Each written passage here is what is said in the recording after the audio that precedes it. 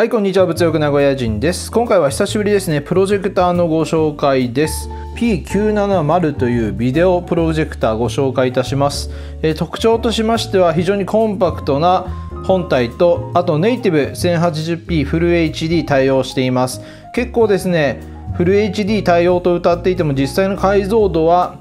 えー、フル HD なかったりというところが多かったりするんですけれども、このプロジェクターはしっかりネイティブ対応しているということで非常に解像度高いプロジェクターに仕上がっているということです。あとコントラストは8000対1ということで非常にくっきりと映像を映し出してくれるプロジェクターというメリットがあります。またスピーカーもね結構迫力あるハイファイスピーカー搭載しているということで結構プロジェクターはスピーカーしょぼくてねプロジェクター単体のスピーカーだけでは聞けないものも多いんですけれどもこの辺り特徴としてスピーカーを謳っているということでどれぐらい迫力あるのかもねチェックしていきたいと思います。パッケージこのようになっています。説明書とリモコンです。このように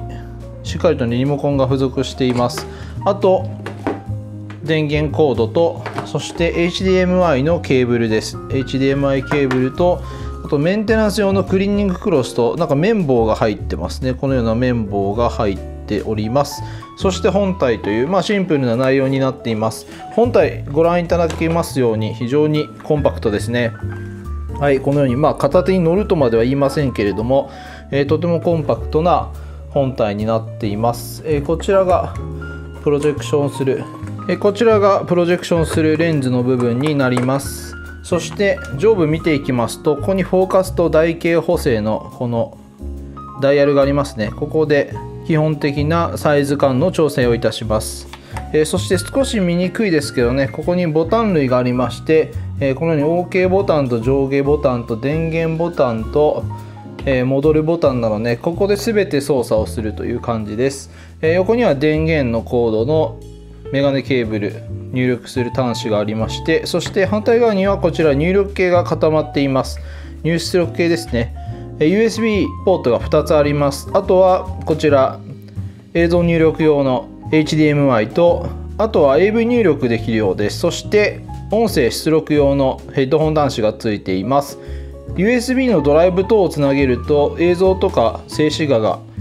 そのまま映し出されるようですね。基本的には HDMI ケーブルつないでタブレットだったりパソコンといったデバイスあとは便利なのは Amazon Fire TV スティックなどをここにつなげるとそのままねストリーミング再生というかオンデマンド見れますのでこういった使い方がねメインなメインとなってくるんじゃないでしょうか。あとはビジネス用途としてもパワーポイントなどのスライドをパソコンから映すというね観点でも非常に便利なプロジェクターかと思います。サイズ感がコンパクトですのでね持ち運びとか会議室とかね容易に持っていけるというところの運用も可能です。そして角度調整ですけれどもこんな感じですね。ネジで高さ上げるという感じです。ちょっとこの辺りはワンタッチでこう角度調整ができないところは若干不便ではありますけれどもこのようにネジのタイプになっていますのでお好みのこう高さにねこのように上げるというところですけれども可動域としてはそこまで大きくはないのでもう少しね調整しろあってもいいのかなと思いました。何かもう少し角度つけた場合はかます必要があるかなというところです。えという感じでシンプルなプロジェクターですので特に使い勝手とかね困る点はないかと思いますけれども。では実際にプロジェクター映してみたいと思います。ちなみにリモコンの電池は別売ですので注意してください。単4電池2本必要です。こんな感じでプロジェクター台の上に設置をしています。こんな感じのね三脚のようなプロジェクター台を使いまして高さの調整は電源オンにして移してから使えますけれどもこんな感じのプロジェクター台があると便利だと思いますしない場合は何か台の上等に置いてね設置すればいいかなと思います。そして電源コードがね結構短めなのでご注意ください。今こんな感じでねはしてますけれども電源ケーブルそこそこ短めなので延長ケーブルが必要かもしれません。なんといっても便利なのがこのような Amazon Fire TV スティックであったりあとは Google の Chrome とか HDMI 端子をこのままさせますのでこういったオンラインのサービスですね。ビデオサービス視聴するというのもいいのではないでしょうか。大画面でねプロジェクターで見るっていうのはなかなか迫力があっていいと思います。そしてプロジェクターのスクリーンを準備いたします。このように以前こちら紹介したスクリーンですけれどももちろん壁にね直接投影してもいいと思います。このような専用のスクリーンがありますとより綺麗な画質そして迫力ある画面で楽しむことができるのでこういったスクリーンをねご家庭に設置するとプチホームシアターじゃないですけれど非常にね楽しめるかと思いますのでおすすめです。こんな感じで電源オンにしてフォーカスとあと台形補正をした状態です、え、ファンの音はねそこそこいたしますね。結構ファンは音がする感じです、えー、そして今メニュー画面ですけれどもこのように結構明るいです。今真っ暗な状態にしてますけれどもなかなかね明るくてくっきりとこんな感じで綺麗にメニュー映っている感じですね。さすがにね電気をつけるとまあ明るくなってしまって全然見えなくはなるんですけれども。まあ、暗い状態が保てれば非常にくっきりと映せます。そして今結構離れた状態で設置してますけれどもなかなか大画面近寄ればもう少しねコンパクトに映すこともできますのでそうするとよりグッとね解像度感も上がるかと思います、まあ、周辺でもこのぐらいのね解像度出てますので、まあ、ちょっと映像どんなもんかこれから見ますけれども綺麗に映ってるんじゃないでしょうか。ただスクリーンと角度があまりつくとね台形補正しても下側だけボケてしまうということがあるので今こんな感じでナイキの靴箱をあのさらに先ほどの台からね上げないとちょっと保てない状態でしたので、えー、それでもねさらにここ下かませて少し角度をつけてます。ですのでもっと高く設置する。本当にねスクリーンがこれちょっとそんなに下には行けなかったのでこう斜めにはなってしまうんですけれどもこの辺りはねプロジェクター設置の上では注意した方がいいと思います。また天井からね本当に本格的にするのであれば吊り下げるとかねそういった形の対応もできるかなと思いますのでこの辺りはスクリーンとの角度調整っていうところがねやっぱり必要になるかと思います。そしてメニュー見ていきましょう。今起動しますとこんな感じで映画音楽画像ファイル HDMIAV と、えー、入力の仕組みというかね入力の選択ができるようになっています。ちょっと今リモコンね電池なかったので、えー、本体のボタンを押してこのようにちょっとブレてしまいますけれども、えー、ファイルだったり画像この辺りは USB などのメモリーメディアに入っているドライブに入っている映像そのまま映し出すことできますし HDMI 入力であればここを押すといいと思います、えー、まずセットアップ見てみましょう。えー、こんな感じです。イメージモード明るさ色温度、えー、拡大縮小ノイズスクリーン反転撮影ズーム音声モード音量自動音量サラウンド、えー、タイマー自動スリープなんだこれはえ言語ですね。言語日本語、えリセットメニュー表示時間 Q が上がる？Q が上がる？USB 起動モード。えー、バージョンこんな感じのメニューになっています。まあある程度ねちょっと分かりにくい日本語もありますけれどもメニュー選択していけば分かると思います。イメージモードはねこのようにソフトかユーザーコントラスト画質ですね、えー、こんな感じの設定が可能です。明るい標準。ソフトユーザー明るい標準。はい。でメニュー戻る、えー、あと明るさですね。明るさも省エネ標準さらに明るくすることも可能です。色温度は今寒色標準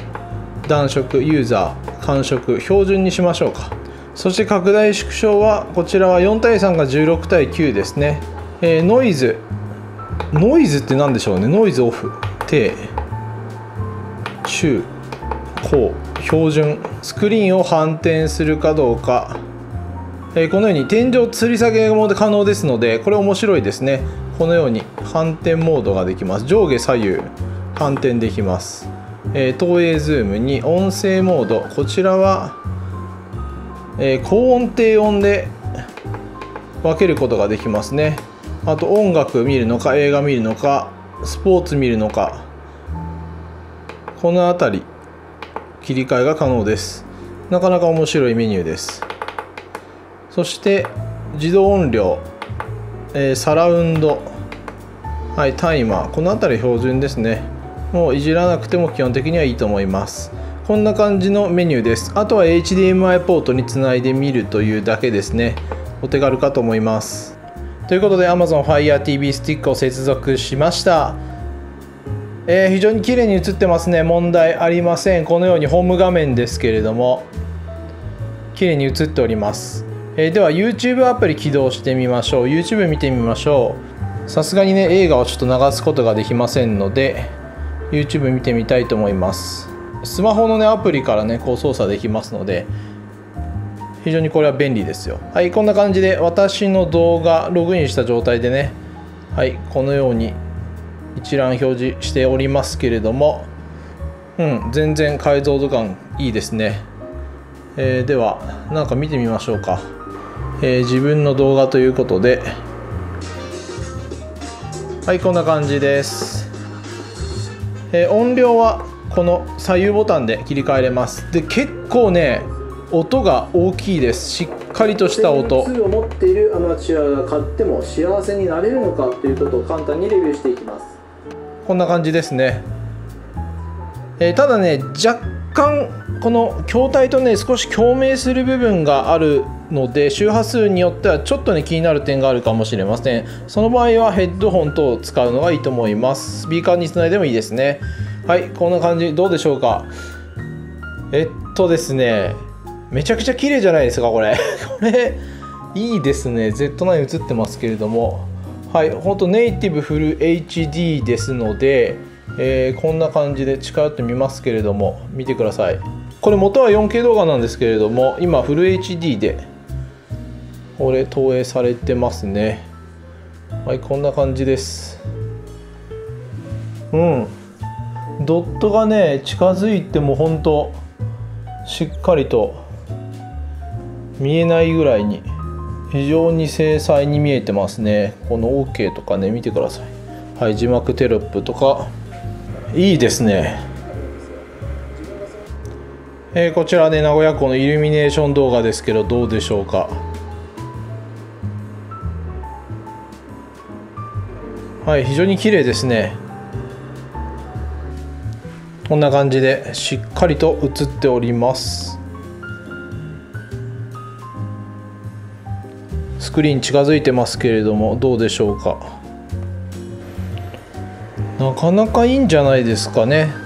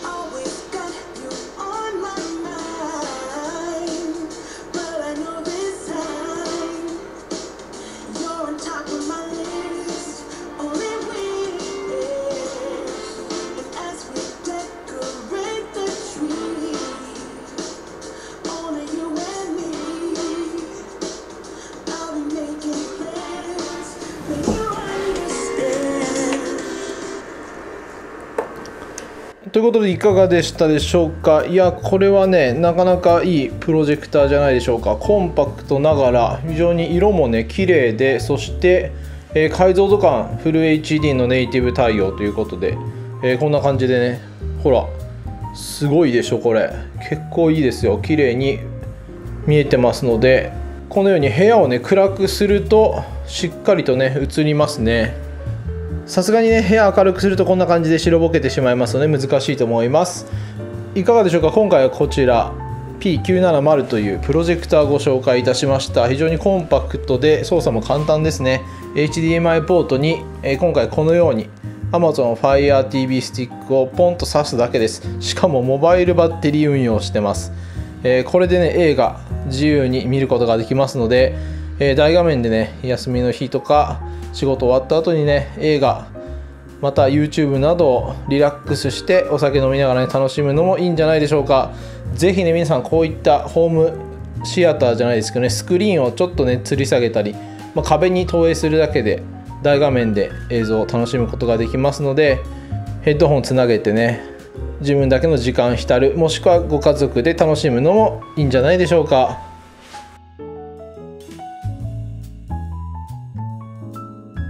非常に多くのプロジェクト Amazon 販売されてますのでその中の一つとしてね検討してみてはいかがでしょうか。では今回もご視聴いただきありがとうございます。